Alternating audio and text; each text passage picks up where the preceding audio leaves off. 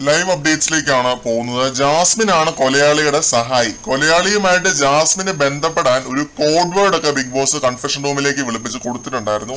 നിങ്ങളാണോ big boss എന്ന് കൊലയാളി ചോദിക്കുമ്പോൾ ഞാനാണ് ബോഗ് ബിസ് എന്ന് ജാസ്മിൻ തിരിച്ചു പറയണം. അങ്ങനെയാണ് കോഡ് വേർഡ് അർജുനാണ് മെയിൻ കൊലയാളി. അപ്പൊ അർജുനോട് ഈ ഒരു കോഡ് വേർഡ് പറഞ്ഞു കൊടുക്കുന്നുണ്ട് ബിഗ് ബോസ് കൺഫെഷൻ റൂമിലേക്ക് വിളിപ്പിച്ചിട്ട്. എന്നിട്ടൊരു ഫോൺ ഒക്കെ കൊടുക്കുന്നുണ്ട്. മറ്റേ ബട്ടൺ ഫോണാണ് പങ്കാളിയെ കണ്ടെത്താൻ വേണ്ടി കൊടുക്കുന്ന ഒരു ഫോണാണ് അത്. പുറത്തേക്കൊന്നും വിളിക്കാൻ പറ്റില്ല എന്ന് ഞാൻ കരുതുന്നു. പുറത്തേക്ക് വിളിക്കാൻ പറ്റിക്കഴിഞ്ഞാൽ എന്തുവാണ് ബിഗ് ബോസ് ഇത്? ഈ ദൗത്യം ഇവരെ രണ്ടുപേരെ ഏൽപ്പിച്ചത് തന്നെ ഒരു ഫേവറസ് ഒക്കെ എനിക്ക് ഫീൽ ചെയ്യുന്നുണ്ട്. വേറെ ആരൊക്കെ ഉണ്ടായിരുന്നു അവിടെ? അവരൊക്കെ പെർഫോം ചെയ്യാൻ ഒരു സ്പേസിന് വേണ്ടി കാത്തിരിക്കുകയാണ്. കഴിഞ്ഞ ആഴ്ച പെർഫോം ചെയ്തവർക്ക് വീണ്ടും സ്പേസ് കൊടുക്കുന്നതിനോട് ഒരു യോജിപ്പുമില്ല പിന്നെ ഗാർഡൻ ഏരിയയിൽ ഒരു ശവകുടീരം ഒക്കെ സ്ഥാപിച്ചിട്ടുണ്ട്.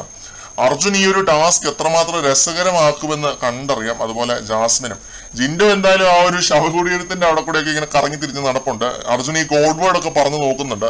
അപ്പൊ ജിൻഡോയ്ക്ക് സംഭവം എന്താണെന്ന് പോലും മനസ്സിലാവുന്നില്ല. പുള്ളി അവിടെ നിപ്പുണ്ട്. കോഡ് വേർഡ് എന്താണെന്ന് മനസ്സിലാവുന്നില്ലല്ലോ. അപ്പൊ പുള്ളി ആ വഴി ഇങ്ങനെ കറങ്ങി തിരിഞ്ഞ് നിപ്പുണ്ട്.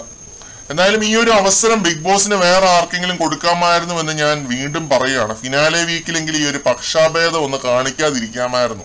ഒരു ജാസ്മിൻ സ്നേഹം കാണിക്കാതിരിക്കാമായിരുന്നു. എന്തായാലും കൂടുതൽ അപ്ഡേറ്റ്സുമായിട്ട് വീണ്ടും